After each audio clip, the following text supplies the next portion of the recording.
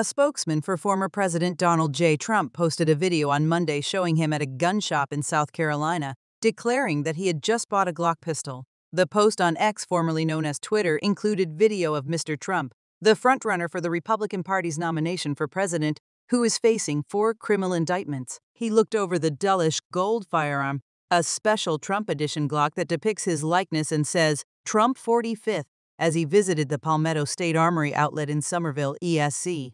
I want to buy one, he said twice in the video.